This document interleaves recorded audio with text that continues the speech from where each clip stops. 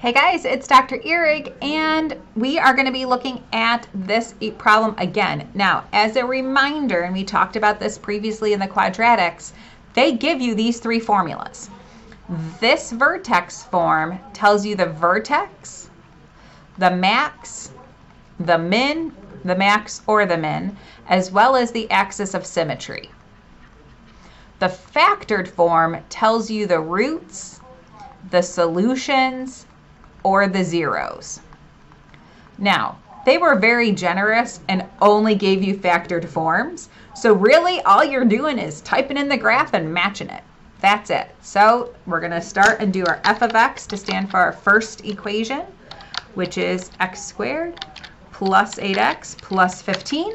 And then we're going to type in letter A. Instead of me writing f of x again, I'm going to write a of x for letter A, but then keep everything else the same.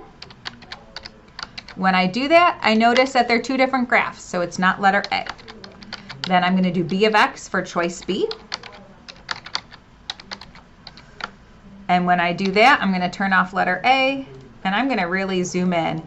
I mean, those look like the same graph to me. Look, I'm going to turn off B, green, blue, it's the same thing. So we know the answer choice is letter B.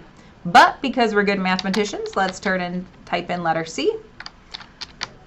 And again, the only thing is, is instead of me writing f of x, I'm just writing c of x because I'm typing in choice C.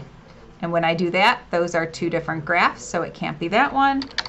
And then d of x, I don't know why I made that capital, is x plus 1, x plus 15, and those are obviously different graphs as well. So the only one that matches the green one is the black one.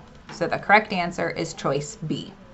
Then it says, Based on that, which one of those represents the minimum of the function, which means it's going to look like the vertex form. So all I'm going to do is type these in. So instead of this, I'm going to delete that and type in x plus 4 squared minus 1. And we need to turn that graph on. And right there, the green and the red graph are the same, so you know that the answer is letter A, but Let's type the other ones in. For letter B, we have x plus 3 quantity squared. Well, we can definitely see the green and the black aren't the same graph, so it's not going to be letter B. Let's type in letter C. We have x plus 2. Whoops. Use the little undo button. We've got x plus 2 quantity squared plus 3.